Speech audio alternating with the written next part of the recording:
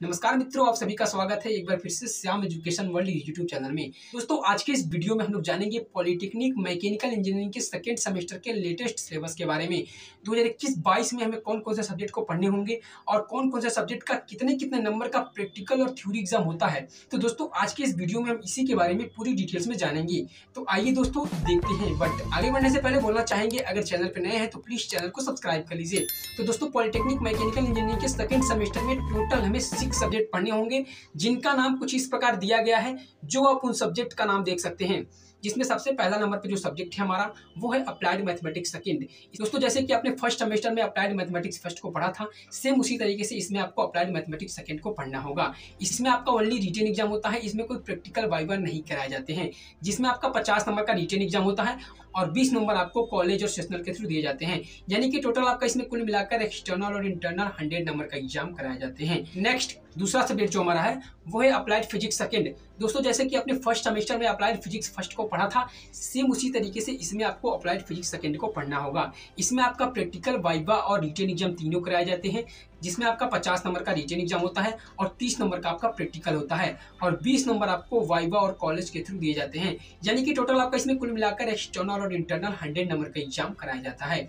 Next तीसरा subject जो हमारा है, वो है जनरल इंजीनियरिंग इसे शॉर्टकट में जीई के नाम से भी जानते हैं। इसमें आपका प्रैक्टिकल वाइवा और रिटेन एग्ज़ाम तीनों कराए जाते हैं, जिसमें आपका पचास नंबर का रिटेन एग्ज़ाम होता है और तीस नंबर का आपका प्रैक्टिकल होता है और बीस नंबर आपको वाइवा और कॉलेज के थ्रू दिए जाते हैं। यानी कि टोटल आपका इसमें कुल मिलाकर एक्सटर्नल और इंटरनल हंड्रेड नंबर का एग्ज़ाम कराए जाते हैं। नेक्स्ट चौथा सब्जेक्ट जो हमारा है, वो है अप्लाइड मैकेनिक्स इसमें आपका प्रैक्टिकल वाइवा और रिटर्न एग्ज़ाम तीनों कराए जाते हैं, जिसमें आपका पचास नंबर का रिटर्न एग्ज़ाम होता है और तीस नंबर का आपका प्रैक्टिकल होता है और बीस नंबर आपको वाइवा और कॉलेज के थ्रू दिए जाते हैं।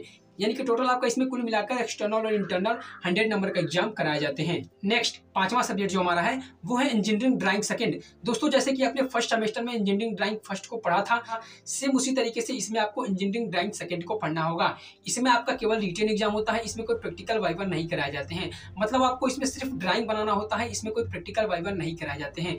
जिसमें आपका साठ नंबर का पेपर होता है और आपको पास होने के लिए मिनिमम ट्वेंटी नंबर लाने होंगे तभी आप इसमें पास हो पाएँगे। और चालीस नंबर आपको कॉलेज और सेशनल के थ्रू दिए जाते हैं। यानी कि टोटल आपका इसमें कुल मिलाकर एक्सटर्नल और इंटरनल हंड्रेड नंबर का एग्ज़ाम कराए जाते हैं। नेक्स्ट और लास्ट सब्जेक्ट जो हमारा है, वो है जनरल वर्कशॉप प्रैक्टिस सेकंड। दोस्तों, जैसे कि आपने फ़र्स्ट सेमेस्टर में जनरल वर्कशॉप प्रैक्टिस फ़र्स्ट को पढ़ा था, उसका प्रैक्टिकल दिया था, फ़ाइल बनाया था, वाइवा हुआ था, सेम उसी तरीके से इसमें भी आपका प्रैक्टिकल होगा, वाइवा होगा और आपको फ़ाइल बनानी पड़ेगी। इसमें आपका ओनली प्रैक्टिकल और वाइवा होता है, इसमें कोई रिटर्न एग्ज़ाम नहीं कराया जाता है, जिसमें आपका साठ नंबर का प्रैक्टिकल होता है और चालीस नंबर आपको वाइवा और कॉलेज के थ्रू दिए जाते हैं। यानी कि टोटल आपका इसमें कुल मिलाकर एक्सटर्नल और इंटरनल हंड्रेड नंबर का एग्ज़ाम कराए जाते हैं। तो दोस्तों, ये टोटल आपको सिक्स सब्जेक्ट पढ़ने होंगे पॉलिटेक्निक मैकेनिकल इंजीनियरिंग के सेकेंड सेमेस्टर में, जिसका नाम मैंने आपको बताया हूँ। और दोस्तों, मैं आपको बताना चाहूँगा कि अगर आपको किसी भी सब्जेक्ट में किसी भी प्रकार का डाउट हो तो आप मुझे कॉमेंट करके पूछ सकते हैं। मैं रिप्लाई ज़रूर दूँगा। तो दोस्तों, उम्मीद करते हैं कि ये पॉलिटेक्निक सेकंड सेमेस्टर से रिलेटेड सिलेबस के बारे में वीडियो आपको अच्छी लगी हो। और दोस्तों, मैं आपको बताना चाहता हूँ कि अगर आपको किसी भी ब्रांच का, किसी भी सेमेस्टर का लेटेस्ट सिलेबस वीडियो चाहिए तो आप मुझे कमेंट कर सकते हैं। थैंक्स फॉर वॉचिंग वीडियो मिलते हैं एक न्यू वीडियो के साथ। तब तक के लिए जय हिंद, वंदे मातरम।